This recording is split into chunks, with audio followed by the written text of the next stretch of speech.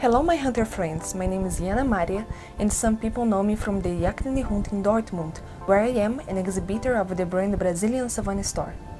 Today I'm going to talk about the design of two hunting trophies that came to me directly from South Africa, where I have my business partners.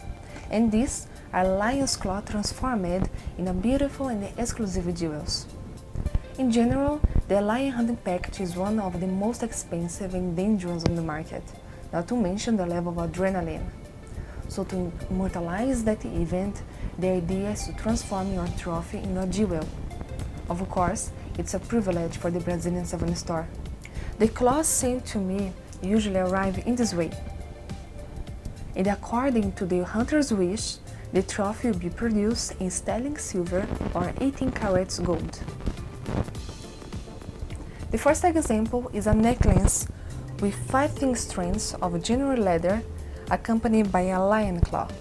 This cap that comes with the claw was handmade in 18 carats gold, worked in a simple modern style with a matte finish, exclusive for this claw. It's an attractive and differentiated jewel for hunters and can be worn by men or women. In the second example that I present is a sterling silver pendant where the lion's claw is accompanied by an amethyst and two brilliants, and the silver design is inspired by African flora.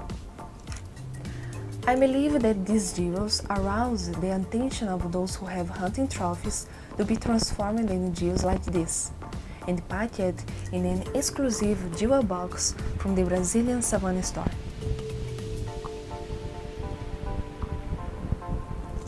If you enjoyed this video, don't forget to like it, subscribe to my channel and send me your hunting trophy to be transformed in a beautiful jewel.